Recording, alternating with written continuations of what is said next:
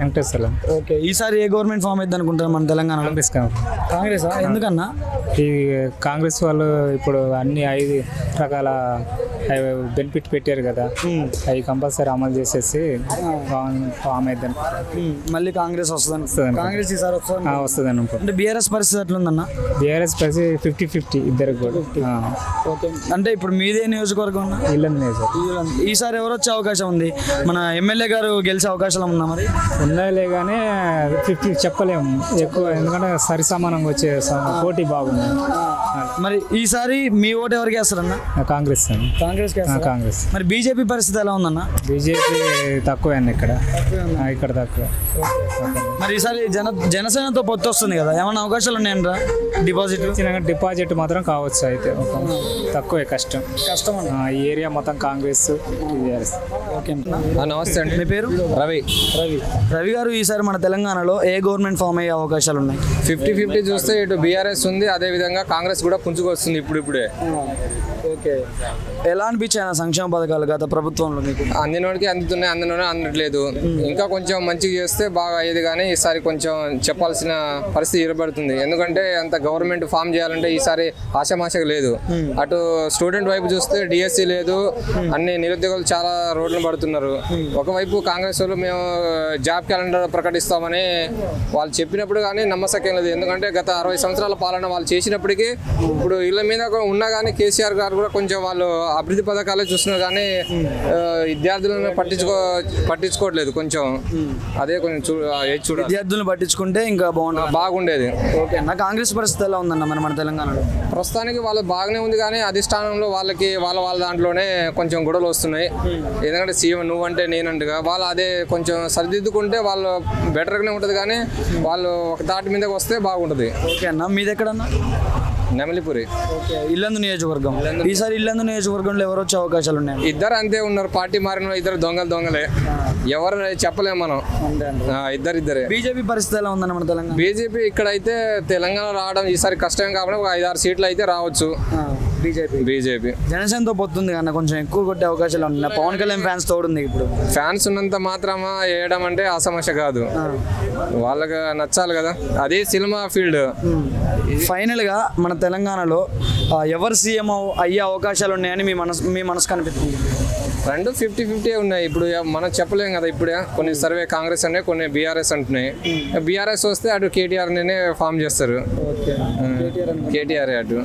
Thank you అన్న. Thank you ఏం పేరు? మీ పేరు? మంగిలాల్. ఈసారి మన తెలంగాణలో ఏ గవర్నమెంట్ ఫామ్ అయ్యే అవకాశాలు ఉన్నాయి? మన తెలంగాణలో అయితే మాత్రం కాంగ్రెస్ గవర్నమెంట్ వస్తే బాగుంటుందని అవకాశాలు అవకాశాలు ఉండొచ్చు. కానీ మీకైతే కాంగ్రెస్ వస్తే బాగుంటుంది. బాగుంటుందని అనిపిస్తుంది. ఓకే బాబాయ్. బీఆర్ఎస్ ప్రభుత్వం ఉన్నప్పుడు మీకు సంక్షేమ పథకాలు అందినాయి బాబాయ్? ఏం అందలేదు. ఏం అందలేదు. కళ్యాణ లక్ష్మి రాలేదు.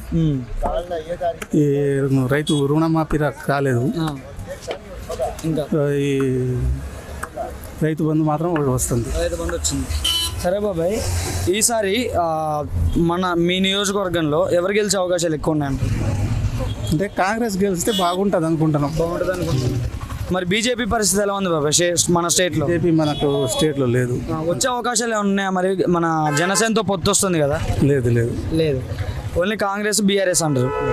బీఆర్ఎస్ ప్రభుత్వంలో మనకి హరిప్రియ గారు చేశారు కదా. ఎలా అనిపించింది ఇక్కడ? డెవలప్మెంట్ ఏమైనా ఉందా? డెవలప్మెంట్ ఏం లేదు. హరిప్రియ గారి దగ్గర నుంచి. డెవలప్మెంట్ అయితే ఏం లేదు. ఇక రుణం మాఫీ కూడా కాలేదు ఇప్పుడు దాకా కళ్యాణ లక్ష్మి రాలేదు మా అమ్మాయి పెళ్ళి మొన్న మేలు చేసిన.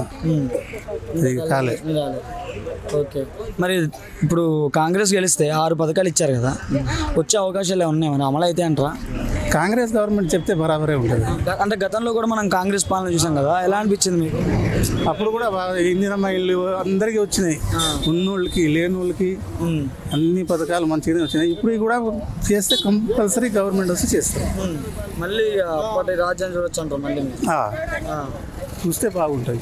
ఈ పోడు పట్టాలు కానీ రాజశేఖర రెడ్డి గవర్నమెంట్ ఉన్నప్పుడు అంటే ఇప్పుడు బీఆర్ఎస్ ప్రభుత్వంలో కూడా పోటీ పట్టాలనే కదా? అయినా కానీ ఒక పంచాయతీలో ముప్పై నలభై అయినాయి కొంతమంది కాలే. ఆ, కొంతమంది అంటే బీఆర్ఎస్ తరఫున ఎవరు ఉంటారో వాళ్ళకైంది. ఓకే. మీకు ఎవరికి కాలేదు మిగతా వాళ్ళకి ఉమ్, ఓకే ఫైనల్గా అయితే మీ ఓటు ఎవరికి వేద్దాం అనుకుంటున్నారు? ఒకటైతే కాంగ్రెస్. కాంగ్రెస్. ఓకే ఓకే బాబాయ్. తెలంగాణలో కాంగ్రెస్. ఎందుకమ్మా? ఏమో నాకు అట్లా అనిపించింది. అనిపించింది. అనిపించింది. తెలంగాణ గవర్నమెంట్ నచ్చిందా నీకు? కేసీఆర్ గారు ఎలా చేశారు పరిపాలన? కేసీఆర్ అంటే చేసిండు అంటే ఇక అది మామూలుగా ఉంటది. మరీ చెప్పుకునేటట్టు లేదు. మరీ లేకుండా చెప్పుకోకుండా ఉండేటట్టు లేదు. మామూలుగా ఉంది. కాంగ్రెస్ వస్తే అంతా బాగుంటది అనేది నా కోరిక. మళ్ళీ రా వైఎస్ రాజశేఖర్ గారు ఉన్నప్పుడు ఎట్లుందో ఇప్- ఇప్పుడు అదే. మళ్ళీ రేవంత్ రెడ్డి గారు అలా చేస్తారు అనుకుంటున్నావా రాజశేఖర రెడ్డి లాగా. ఓకే. నేనైతే అంతే అనుకుంటాను అంతే. మరి ఈ గవర్నమెంట్ ఎలా ఉంది? ఇప్పుడు మన కేసీఆర్ గారు పరిపాలన చేశారు కదా మీకు న్యాయం జరిగిందా మరి?